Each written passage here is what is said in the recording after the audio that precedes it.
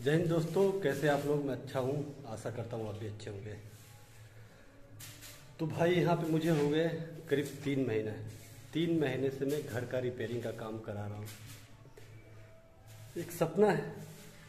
ये घर नहीं था बिल्कुल ढांचा खड़ा था।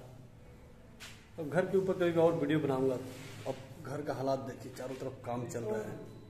बेटा खूब अच्छा मैं थोड़ा सा कैमरा बैक करता हूँ फिर देखिए आप। तो ये है मेरे घर का कंडीशन तीन महीने तीन महीने में क्या क्या हुआ है? अभी कुछ लग ही नहीं रहा है कि हुआ है। तो ठीक है, जो भी हो रहा है।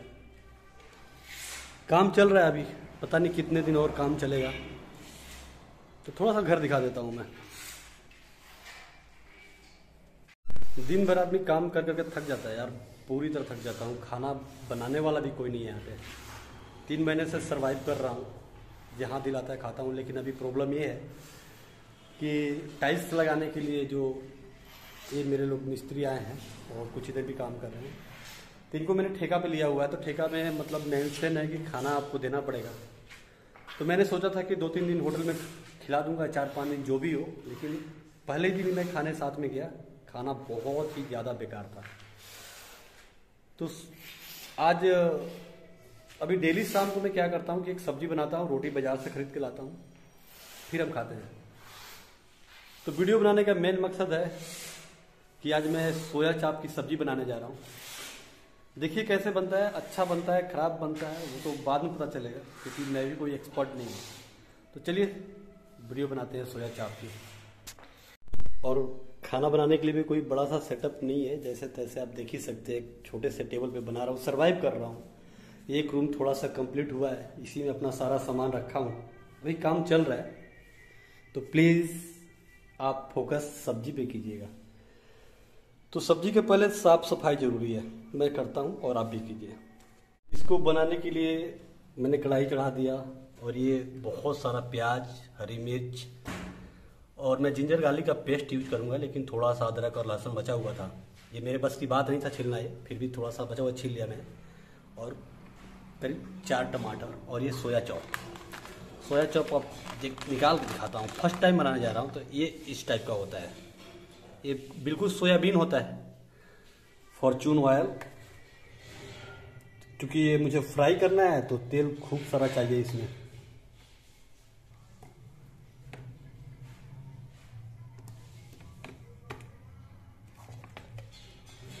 तो ये इतना तेल गया। तेल गर्म होने का इंतज़ार करता हूँ। एक पैकेट में आठ है और ये कंपनी है, कौन सी है मुझे ये नहीं पता है। तो इसको लो फ्लेम पे फ्राई करना है तो चलिए इसको अब डालते हैं।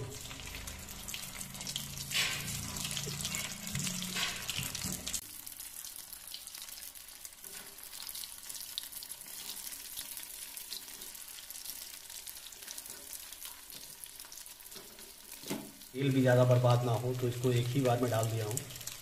बस इतना ध्यान रखना है, इसको लो फ्लेम पे फ्राई करना है।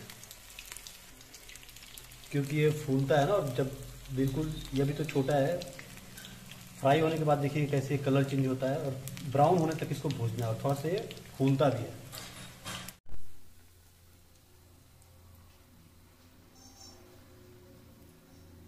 अब ये गोल्डन ब्राउन हो चुका है तो बस अब इसको निकालते हैं धीरे धीरे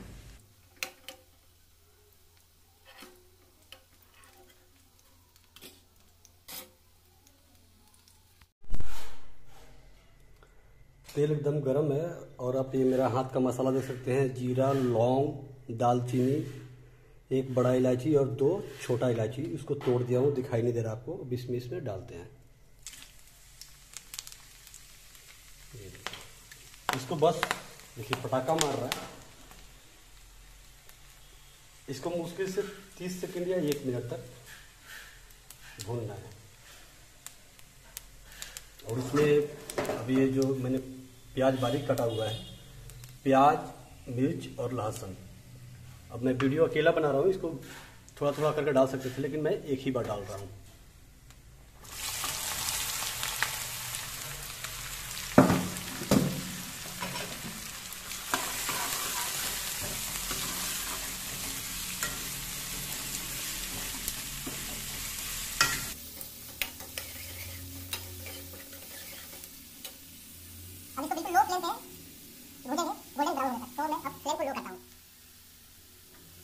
ये बिल्कुल गोल्डन ब्राउन हो चुका है, आप देख सकते हैं इसका कलर।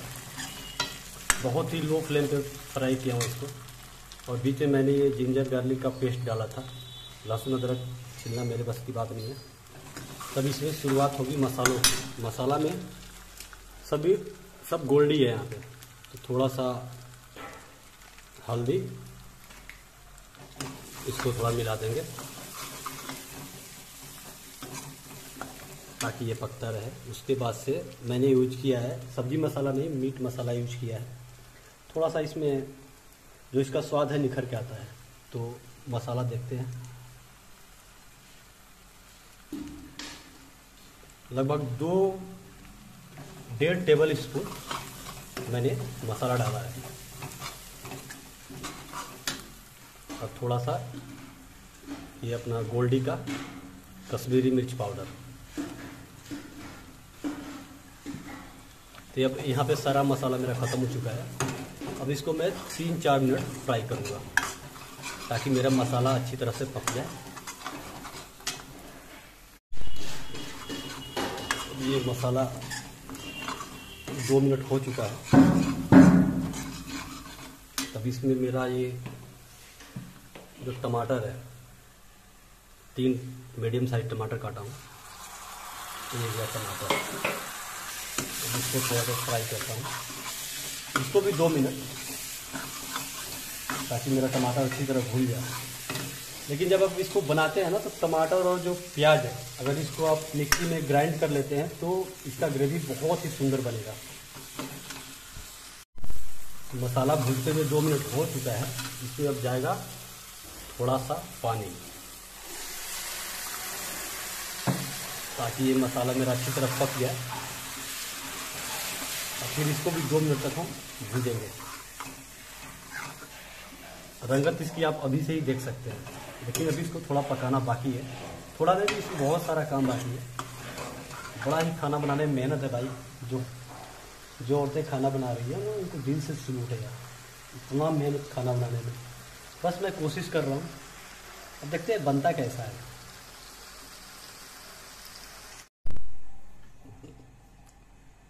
ग्रेवी तैयार हो चुका था उसमें, पानी डाला। पानी डालने के बाद अपना सोयाबीन चाप डाल दिया इसमें। सोयाबीन चाप डाल दिया। अब इसको मैं कम से कम 20 मिनट तक पकाऊँगा, ताकि जो ग्रेवी का स्वाद है ना, इसमें अंदर तक जाए। उसका टेस्ट बहुत ही लाजवाब होता है। चलिए ठीक है। इंतज़ार कीजिए पकने का। बॉइलिंग होना शुरू हो चुका है। पकते हुए हो गए करीब 20 या 25 मिनट। ओहो! गैस मैंने बीच में बंद कर दिया था, सॉरी उसके लिए। देखिए देखिए, भाई रे भाई साहब। क्या रंगत आई है इसकी। और खाने में तो क्या मज़ा आएगा बता नहीं सकते हैं। जब खाऊँगा ना तो उसका भी देखिए। ये है सोयाबीन चाप देखने में तो बहुत ही खूबसूरत लग रहा है। देखते हैं खाने में कैसा लगता है। आप अपने घर में प्लीज़ ट्राई कीजिए इसको। बिल्कुल भेज है। वेज सोयाबीन चाप दरौली में अवेलेबल है। और खाने में तो बिल्कुल आप एक बार खाइए फिर मुझे बताइएगा आप कैसा सब्ज़ी बनाए तो भाई ये सोयाबीन चाप थोड़ा सॉरी थोड़ा सा खा के मुझे याद आया कि नहीं रिकॉर्डिंग करना था। क्वेश्चन बोल रहा मिस्त्री? बहुत अच्छा बना बहुत बढ़िया। तारा कैसन लगा था? कैसन लगा था खाए में? बहुत अच्छा। बहुत अच्छा। हम्म, बहुत ही अच्छा बना था मने का है चिकन। चिकन ना हो सोयाबीन चाप हाँ, देखो। बिचवा में लकड़ी बा फंस जाई। बहुत बढ़िया भाई। देखिए ना कैसा रंगत उतरा है इसका। तारा कैसा लगा था बहुत बढ़िया लगा था हम तो कबो खैले ही नहीं थे। कबो ना। पहली बार खाते हैं। देख लो। देखिए, दोनों मेरे भाई मतलब जो टाइल्स के मिस्त्री हैं, वो दोनों हैं। हेड मिस्त्री, उनका अपना जो साथ में रहते हैं। और जो सब्ज़ी बनाना एक्चुअली बहुत बेहतरीन बना है। आप बता नहीं सकते हैं। कढ़ाई में बिल्कुल बचा ही नहीं अब थोड़ा सा बचा है। ये बंदा हिसाब से खा रहा है अभी। बहुत टेस्टी बना हुआ है। वीडियो को एंजॉय कीजिएगा और ऐसा सब्ज़ी घर में बनाइएगा। चलिए ओके बाय बाय ध्यान रखिएगा।